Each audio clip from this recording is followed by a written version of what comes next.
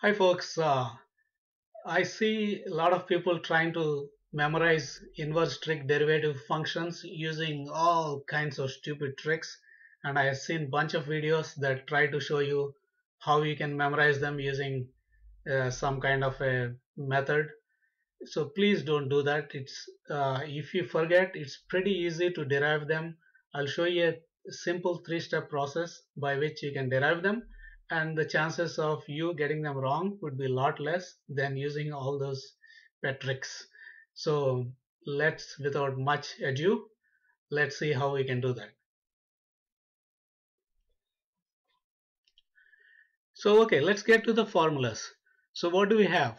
Derivative of sine inverse x is 1 over square root of 1 minus x square and derivative of tan inverse x is 1 over 1 plus x square derivative of secant inverse x is 1 over mod x square root of x square minus 1 and the corresponding ones for cos inverse x cotangent inverse x and cosecant inverse x are pretty similar only there is a negative sign in front of them. So if we can get these first three formulas sine inverse x tan inverse x and secant inverse x so you are home free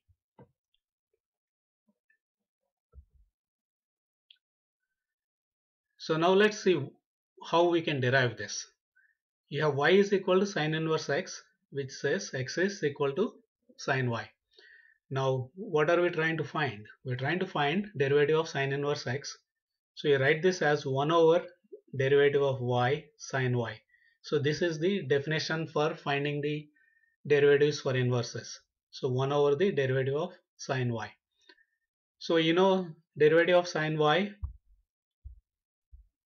is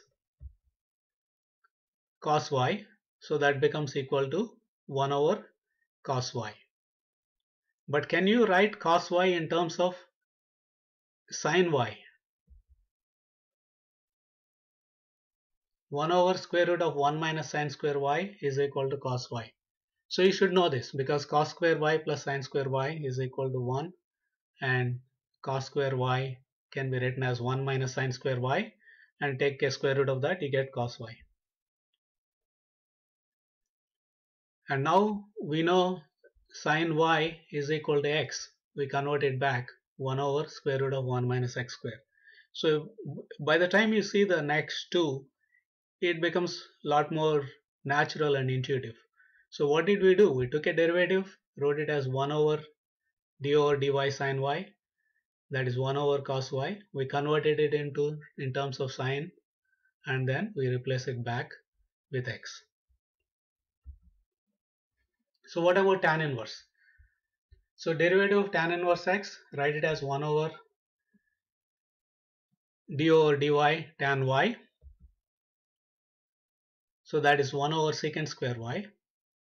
You know secant square y can be written as 1 over 1 plus tan square y why am I writing this? Because I want to convert it back in terms of tan y. That's equal to 1 over 1 plus x square because x is equal to tan y.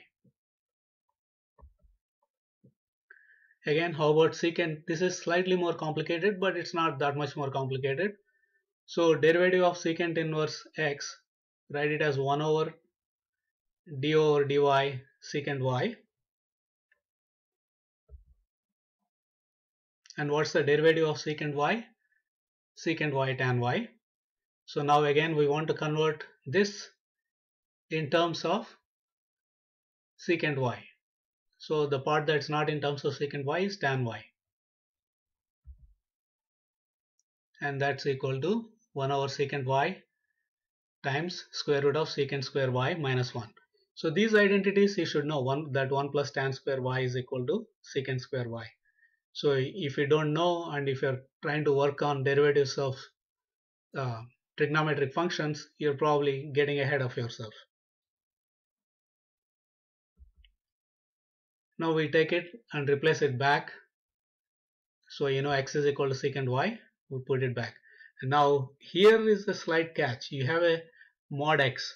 So that sometimes people do write formula without mod x, just put in putting x so you have to be careful about the um, domain and range of the inverse functions that are being considered.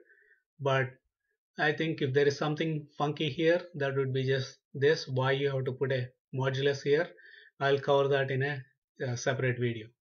But I think hopefully this gives you a little trick to remember this and to be able to derive the formulas as well as in a way you get to refresh your two formulas that sine square x plus cos square x is equal to 1 and 1 plus tan square x is equal to secant square x or y whatever it is. So if you like this um, share it with your friends and subscribe. Thank you. And oh actually let me do one thing. So let's recap the formulas once more sine inverse x is 1 over square root of 1 minus x square. Tan inverse x is 1 over 1 plus x square. Secant inverse x is 1 over mod of x x square minus 1 see you in the next video